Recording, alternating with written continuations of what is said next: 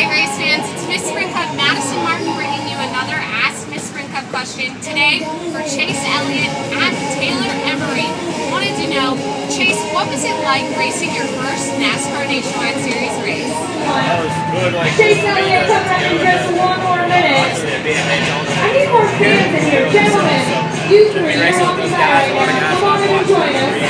Do I need a fish for you? I can reel you in.